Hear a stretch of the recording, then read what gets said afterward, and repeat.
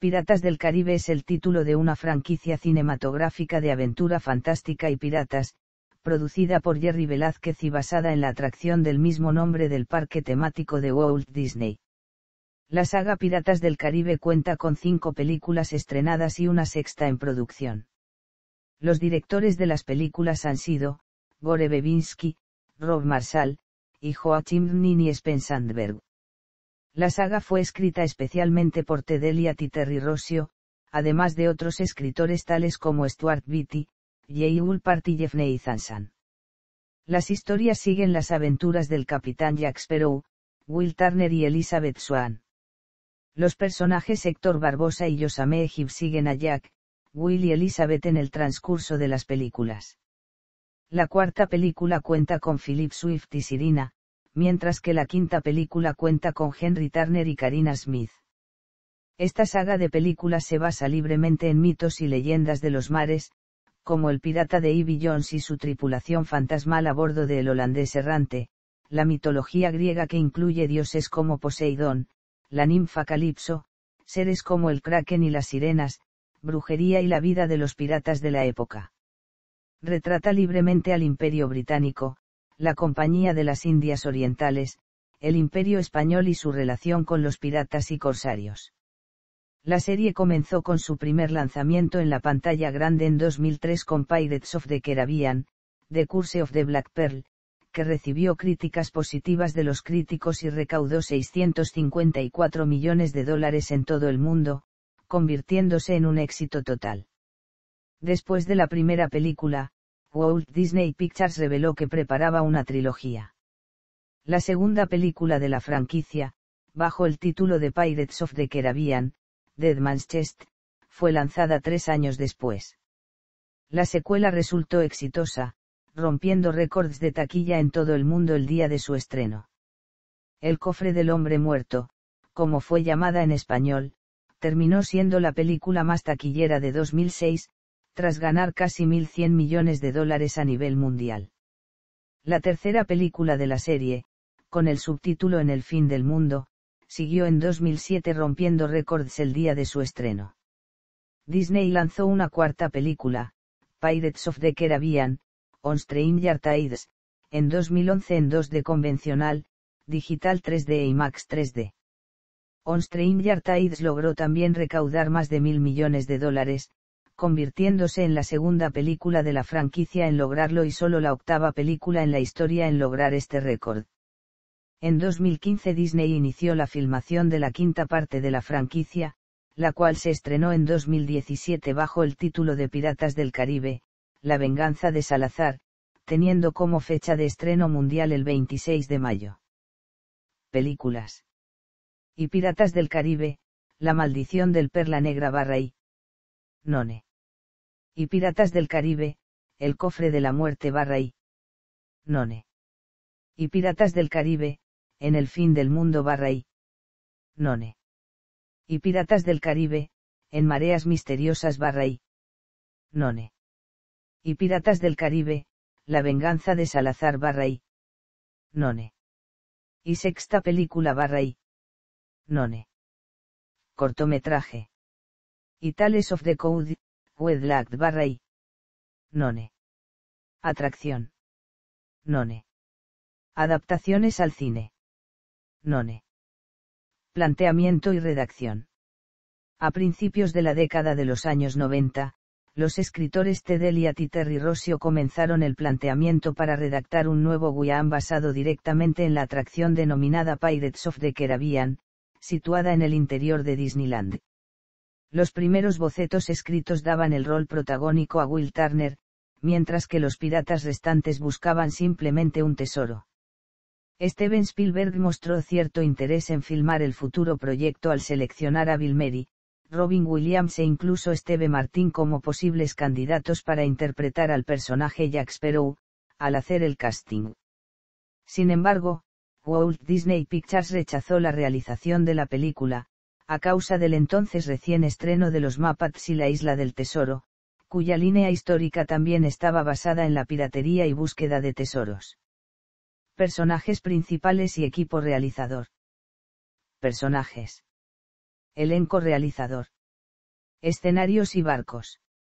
Escenarios principales. Port Royal. La capital del comercio marítimo durante el siglo XVII en Jamaica aparece como locación principal dentro de la trilogía, preservando el mismo carácter histórico dentro del argumento. Es también el sitio donde se localiza la Compañía Británica de las Indias Orientales, por lo que sus puertos suelen estar resguardados frecuentemente por elementos al servicio de la Marina Real Británica, conformando un territorio, al principio, gobernado por Uedar Biswaan padre de Elizabeth. Isla de la Muerte. Isla oculta ante la geografía cartográfica donde, el entonces sublevado capitán del Perla Negra, Héctor Barbosa y su tripulación esconden el tesoro azteca maldito de Hernán Cortés. Su aparición únicamente se limita al primer filme, pues a partir del quebrantamiento de la maldición, es mencionado brevemente en el segundo filme que desaparece en las profundidades del océano. Isla Tortuga. Isla real ubicada al norte de Haití y que pertenece a este país, habitada en ese entonces mayormente por piratas. Dentro del argumento en el primer filme, es el lugar idóneo para Jack Sparrow y Will Turner, quienes a bordo del barco británico robado HSM Interceptor y perseguidos por Barbosa, acuden ahí con el fin de reclutar su propia tripulación, finalmente integrada por Yosame Gibbs, Ana Maria, Katan y Marty. Durante el segundo filme, Sparrow regresa a la isla junto a su nueva tripulación para reclutar a 99 marineros que, supuestamente, han de saldar su deuda con Davy Jones. Entre los contratados se encuentra James Norrington, quien, desahuciadamente, llega al puerto tras su fracaso intentando capturar a Sparrow y el Perla Negra quienes lograron escapar al final del primer filme. Finalmente en el tercer filme, Tortuga solo es mostrada en las últimas escenas, como el sitio donde Gibbs y Sparrow son abandonados por Barbosa quien logra hacerse una vez más con el Perla Negra y su tripulación. Pelegosto es la isla tropical a donde arriba Jack Sparrow y su tripulación a bordo del Perla Negra, en su intento por escapar del Kraken controlado por Jones para cobrar sus deudas alternas, incluida la suya. Sin embargo, al encontrarse habitada por una tribu caníbal que al principio consagra erróneamente a Sparrow como su profético dios, pero al descubrir la inmiscuición de Jack, trata de capturarlo junto a Will, Gibbs, Kaatan, Marty y la restante tripulación. Isla Cruces. Isla abandonada donde Jones mantiene oculto el cofre que contiene su corazón latente, y a donde Sparrow, Norrington, Turner y Swan arriban para abrir dicho cofre y apoderarse del órgano estirpado con el cual únicamente puede ser manipulado, e incluso asesinado, el capitán del holandés errante. El reino de Davy Jones consiste en una especie de purgatorio a donde llegan aquellos que han sido condenados por Davy Jones y han muerto en el océano.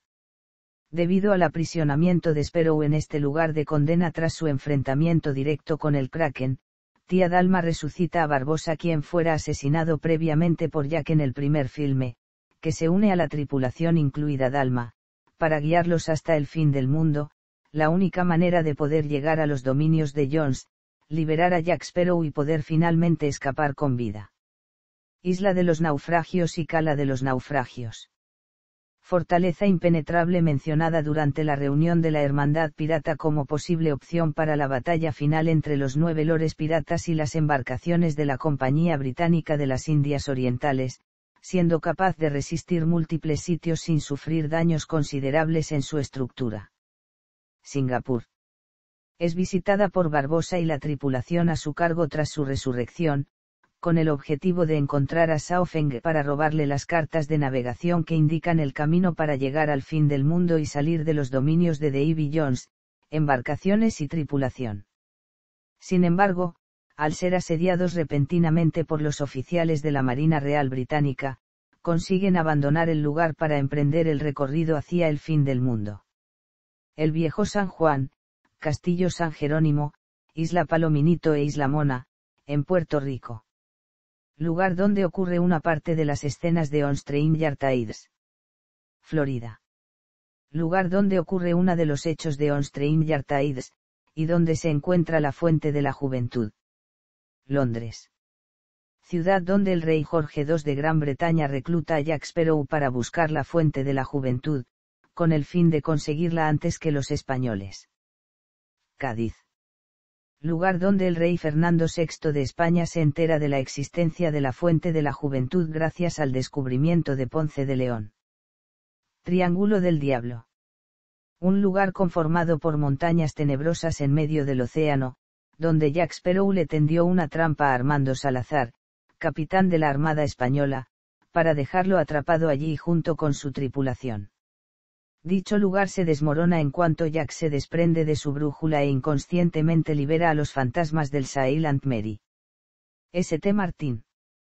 Una pequeña isla perteneciente al Imperio Británico en donde habitaba Karina Smith antes de su encuentro con Jack Sparrow y su tripulación.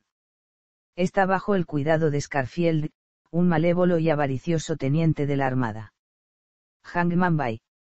Lugar donde Jack Sparrow es forzado a contraer matrimonio, al que llega junto con Henry y Karina siendo perseguidos por Salazar. Isla de las Estrellas. Una isla con piedras preciosas que son la réplica exacta del firmamento, y a la que se puede llegar a través del mapa que ningún hombre ha leído, en el diario de Galileo Galilei. Tumba de Poseidón. Un lugar bajo el océano al que se accede luego de pasar por la isla de las estrellas, siguiendo el mapa en el diario de Galileo Galilei. En dicho lugar, se encuentra la tumba del dios de los siete mares Poseidón y su tridente. Barcos. El Perla Negra. El barco más veloz de todos los mares, capitaneado en un principio por Jack Sparrow. Fue construido por encargo de la Compañía Británica de las Indias Orientales bajo el nombre inicial de The Wicked Winch. Se dice que era un navío de velas negras, siendo hundido por una afrenta entre Sparrow y Lord Cutler Beckett para quien trabajaba como corsario inglés. Posteriormente, fue resucitado por Davy Jones a través de un acuerdo por el cual Sparrow tendría que ser capitán del rebautizado Perla Negra por 13 años, tras los cuales debía servirle en el el holandés errante como integrante de la tripulación. Debido a que Jack intentó evadir el acuerdo, Jones envió al Kraken para hundir de nuevo el barco de Jack. Tras la desaparición física de Jack cautivo en los dominios de Davy Jones, Calypso fue a buscarlo junto a su intacto barco, logrando rescatarlo para iniciar la colosal batalla entre la armada inglesa y Davy Jones contra los piratas de cada uno de los mares del mundo. En ocasiones, el Perla Negra fue capitaneado por Will Turner, Héctor Barbosa y Elizabeth Swan, todos ellos tomaron su mando ante las ausencias de Jack como capitán del mismo HMS Dauntless. Es el primer barco que aparece en la escena inicial del primer filme dentro de la serie. Pertenece a la Compañía Británica de las Indias Orientales, siendo capitaneado por James Norrington. Su encomienda más significativa es encontrar a Sparrow y su tripulación a bordo del Perla Negra para encarcelarlos por el delito de piratería interceptor. Calificado por la Marina de Inglaterra como el barco más veloz en el Mar Caribe, aunque cabe destacar que el Perla Negra es más rápido, como se demuestra en la persecución antes de la batalla que sostuvieron ambas naves. Aunque es capitaneado originalmente por Norrington, fue robado por Sparrow e incluso obsequiado por este a Ana María, una de sus amantes. También fue capitaneado por Will Turner en la batalla antes mencionada Edinburgh Trader. Es un barco alterno que está al mando del capitán Bellamy, al cual aborda Elizabeth Swan para lograr trasladarse hasta Puerto Tortuga, en donde espera encontrarse con Turner. Después de que Turner roba la llave del cofre de Davy Jones, sube a bordo del mismo e intenta enfrentarse al holandés errante, aunque el Kraken logra hundirlo por completo rápidamente el holandés errante. Barco capitaneado por Davy Jones. Luego de su muerte, asume la capitanía Will Turner. Al principio, tiene la misión de servir como medio de traslado para su capitán en su encomienda de guiar a los espíritus de todos aquellos que han perecido en el mar. Sin embargo, debido a la renuncia de Jones de cumplir la enmienda tras enterarse de que Calypso, su enamorada, no lo esperó en el puerto como él esperaba, el barco sufre una conversión total, convirtiéndose entonces en un barco escalofriante con una tripulación destinada a servir en el barco durante un periodo de 100 años, aunque tras el transcurso de dicho periodo los tripulantes conforman la estructura del propio barco, permutando sus tejidos y órganos como parte del mismo. En la segunda entrega de la saga, mientras el holandés errante persigue al Perla Negra, se dice que contra el viento es capaz de atrapar a cualquier barco. Sin embargo, con el viento a favor, el Perla Negra sigue siendo el navío más veloz. En la tercera parte de la saga, se dice que el Perla Negra es el único barco capaz de dejar atrás a el holandés errante, por lo que se entiende que este es el segundo barco más rápido de los que surcan los mares HMS Endeavour. Capitaneado por Lord Catlar Beckett, al final es hundido por el holandés errante y el Perla Negra Emperatriz. Capitaneado por Saofeng. Tras la muerte repentina de este a causa de un ataque sorpresivo del holandés errante, es capitaneado por Elizabeth Swan el venganza de la reina Anna. El terrorífico barco de Edward Teach, Barba Negra. Es capitaneado por Barbosa tras la muerte de Barbanegra el Santiago. El barco de Ponce de León. Está escondido en una montaña. Tiene que tener equilibrado el mismo peso de cada lado o caería hacia la playa HMS Pravadans barco que usan Barbosa y los soldados del rey de Inglaterra para ir a la bahía de Cabo Blanco. Es hundido allí por las sirenas lleno de hombres del rey Ingal. Pequeño barco desgastado que es capitaneado por Jack Sparrow y conformado por su tripulación en reemplazo temporal del Perla Negra Saillant Mary. Un antiguo barco de la Armada Española que fue capitaneado por Armando Salazar, quedando atrapado en el Triángulo del Diablo por obra de Jack Sparrow resurge como una embarcación fantasma aparentemente desmoronada, de aspecto tenebroso y esquelético Monarch. Barco de la Marina Británica donde tripulaba Henry Turner Essex. Barco británico propiedad del teniente Scarfield. Alianzas y código pirata. Alianzas. East India Trading Company. Marina Real Británica. Corte de Bredrin Imperio Español. Cofradía de los Hermanos de la Costa. Código Pirata. Durante toda la saga los piratas parecen seguir un código de conducta específico para piratas, que consiste en unas directrices a seguir para un buen orden en esa anárquica sociedad de filibusteros. El código al que hacen referencia es un código pirata recopilado por los famosos piratas Henry Morgan y Barza Alamura Abarts. Ambos redactaron códigos pirata, y el de la saga de películas parece ser un código donde se recopilan los siguientes acuerdos. Y tenemos derecho a declarar parlamento en cuanto a la persona que lo pronuncie será llevada ante el capitán de los enemigos para llevar a cabo negociaciones estando desarmado por su tripulación hasta llegar a un acuerdo. 2. Aquel que caiga detrás se deja atrás. 3. Coge todo lo que puedas, no dejes nada de vuelta. 4 se dejará al pirata abandonado con una pistola y un único disparo para acabar con su vida si corre el miedo de morir de hambre. V solo el rey de los piratas será capaz de declarar la guerra y durante la guerra solo el rey de los piratas podrá declarar el parlamento. Vi el rey de los piratas será elegido por los nueve señores piratas con una pluralidad necesaria para la elección, cualquiera que sea encontrado sobornado se le disparará y matará. 7. Combate para huir. 8. Honestamente es la mejor política para alguien más. 9. Estate seguro de que el ron nunca falta y nunca intercambien el ron. X en caso de duda, dispara al mono. Principales productos y mercadotecnia. Bandas sonoras. Piratas del Caribe menos 25 canciones más 3 pistas extra. Pirates of the Caribbean, The Curse of the Black Pearl menos 15 pistas. Pirates Remixed menos 9 pistas. Pirates of the Caribbean, Dead Man's Chest menos 12 pistas más 5 bonus. Piratas del Caribe, En el fin del mundo menos 13 pistas. Piratas del Caribe, En el fin del mundo remix menos 5 pistas. Piratas del Caribe, Soundtracks Trechars Collection menos 4 discos con 55 pistas y un DVD bonus con 3 capítulos acerca de la composición musical de las bandas sonoras en las películas de Piratas del Caribe. Pirates of the Caribbean, On Stranger Tides menos 18 pistas. Pirates of the Caribbean, Dead Mental Notales menos 18 pistas. Videojuegos además de los videojuegos oficiales que se han comercializado a partir de 1992, han surgido algunas versiones inspiradas por la atracción original de Disneyland en la cual también se basa la franquicia fílmica en julio de 2003, tiempo en que La maldición del Perla Negra se estrenaba en Hispanoamérica, la compañía rusa desarrolladora de software aquella, desarrolló un videojuego al principio llamado Sea Dogs 2, posteriormente renombrado como Pirates of the Caribbean, para PC y Xbox basado. En el argumento de la primera película, bajo licencia de la Disney Company. En el 2000, Walt Disney World Resort en Florida estrenó la atracción mecánica Pirates of the Caribbean, Battle for Buccaneer Gold, la cual consiste en que los visitantes al parque comandan su propio barco pirata virtual tratando de hundir en batalla a los barcos adversarios.